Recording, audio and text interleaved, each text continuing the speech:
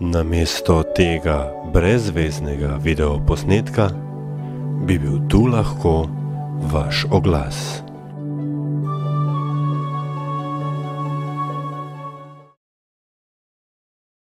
Poslušate in gledate Radio Chaos. Ponedeljkovo jutro je voznike na križišču Slovenske ceste in Šubičeve ulice v Ljubljani neprijetno presenetilo. Javno podjetje Vodovod kanalizacija je minuli konec tedna tam namreč začelo izvajati popravila vodovodnega omrežja.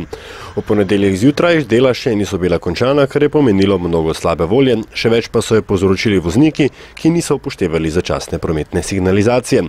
Delovci vodovoda in kanalizacije so si prizadevali usmeriti promet, kakor so vedeli in znali.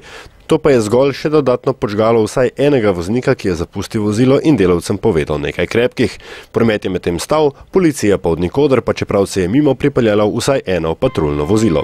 Mimo grede, javno podjetje Voka na svojih spletnih straneh ni objavilo obvestila zapori, je pa bilo resnici na ljubo objavljeno na spletnih straneh Ljubljanskega potniškega prometa in pa na spletni strani Ljubljana.si v razdelku cestne zapore. A prometnega zamaška to očitno ni preprečilo. Za Radio Chaos Aljaš Pengov Bitenc.